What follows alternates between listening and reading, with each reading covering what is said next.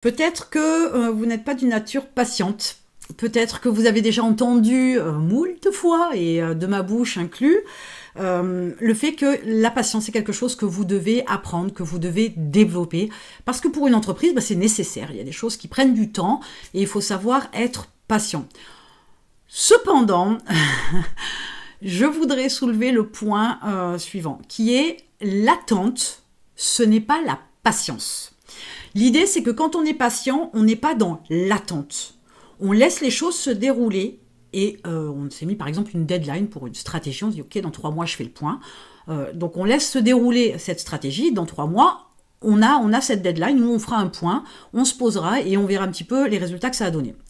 Euh, l'attente, c'est plutôt quand vous êtes sur, par exemple, vous avez demandé un devis pour une assurance, peu importe et que euh, la personne en face de vous vous a dit euh, euh, j'ai bien toutes vos coordonnées, vos informations, etc. J'ai votre, adresse mail. je m'occupe du devis. dès que c'est fait, je vous l'envoie. comprenez bien que ce qu'elle vous a donné comme info, c'est qu'elle va faire le travail, bien évidemment, qu'elle va vous l'envoyer, mais vous ne savez pas quand cette semaine, la semaine prochaine, dans 15 jours, dans 3 semaines, dans un mois. si quand bien même elle vous a dit la semaine prochaine, ok, quel jour euh, et quel jour euh, On en revient encore à la même question. Oui, mais quand? Euh, Plutôt le matin, plutôt l'après-midi. Alors, ça, paraît un peu pousser le bouchon comme ça. Sauf que comprenez bien que si vous n'avez pas d'infos et qu'elle vous dit je fais le devis, je vous l'envoie, vous êtes en position d'attente. Là, vous n'avez aucun contrôle de quoi que ce soit. Sauf que si vous lui avez dit, OK, vous m'envoyez le devis quand? Il faut poser la question, clairement. Elle vous dit, la semaine prochaine. OK, quel jour? Ben, on va dire mardi, ça devrait être bon. D'accord, mardi avant midi ou avant 17h euh, Mardi avant 17h. Ok. Dans ce cas-là, les choses, elles sont plus claires. Et vous n'êtes plus dans une attente, là, vous êtes dans la patience. Parce qu'il y a une deadline, vous savez que ça va arriver euh, mardi avant 17h. Je vais quand même glisser, hein, parce que c'est tentant, hein, je, vais, me lâcher quand même. Euh, de mon point de vue, si vendre, mardi, pardon, 17h, c'est la deadline pour qu'elle vous envoie le devis, cette personne, euh, très clairement, moi je vous le dis, 16h30, hein, euh, je suis sur mon adresse mail. Si à 16h30, j'ai pas eu le devis, je passe un coup de fil.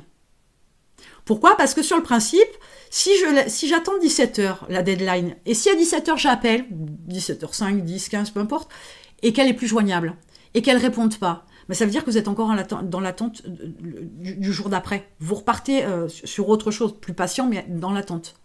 Donc l'idée, c'est de lui dire, ok, il est 16h30, euh, on s'est eu il y a 5 jours, ou, 6 jours, ou une semaine, peu importe. Euh, je pense que pour faire un devis, euh, je, sais que vous avez d'autres choses à faire, mais enfin quand même, vous êtes engagé à mardi 17h, on est mardi 16h30, j'ai rien. Est-ce que c'est normal? Voilà. Donc, et vous avez le droit un petit peu de ronchonner si jamais elle n'est pas dans les clous. Euh, tout, ne peut pas se justifier en disant mais j'ai eu beaucoup de travail, j'étais pas là, j'étais malade, j'ai machin. Mais c'est son problème, c'est pas le vôtre. Vous, en attendant de ce fameux devis, par exemple, vous auriez pu en avoir besoin euh, pour le transmettre ou pour échanger avec votre associé ou pour voilà le transmettre à, un tiers. Euh, vous lui avez dit après 17h mardi, je vous l'envoie comme ça mercredi quand on a rendez-vous.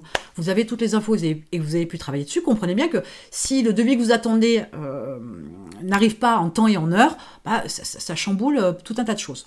Donc l'idée c'est que euh, il faut faire euh, attention voilà, à, ce distinguo entre la patience d'un côté et l'attente de l'autre. L'attente, c'est quand vous ne savez pas quand est-ce que ça va tomber. La patience, c'est quand vous avez une deadline, quand vous avez une date butoir, quand vous avez un moment bien particulier. À ce moment-là, vous êtes patient. le positionnement, le mode de fonctionnement, le ressenti, etc., ne sont pas du tout les mêmes. Mais je vous dirais aussi tout simplement que dans le, cas de la patience, vous avez le contrôle. Dans le cas de l'attente, vous l'avez pas. Vous dépendez de quelqu'un. Et une fois de plus, euh, c'est lui laisser le pouvoir euh, de faire un peu comme il a envie ou comme elle a envie, euh, et, vous d'être dans l'attente euh, bien gentil, comme un toutou bien sage qui attend qu'on lui donne le feu vert pour manger dans sa gamelle. Donc non, non, non, non, non, non, non. Donc euh, l'attente, non. La patience, oui. À vous de, faire des tests au quotidien, euh, à voir comment vous vous positionnez, quel ressenti vous avez, quelle approche vous avez dans votre entreprise, notamment hein, plus que dans la vie perso, parce que c'est pas ce qui m'intéresse le plus, entre guillemets, euh, même si les deux sont similaires, hein, on est d'accord. Et, voyez comment vous vous comportez et essayez de, repérer la différence entre patience et attente et d'adapter votre comportement pour que vous soyez plus dans la patience que dans l'attente. Voilà, les choses soient plus sous contrôle plutôt que de laisser le pouvoir à un tiers.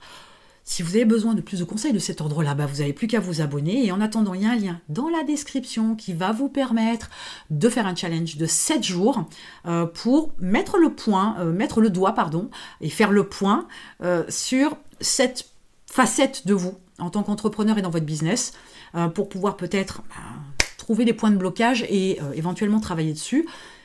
Allez-y et on se retrouve de l'autre côté.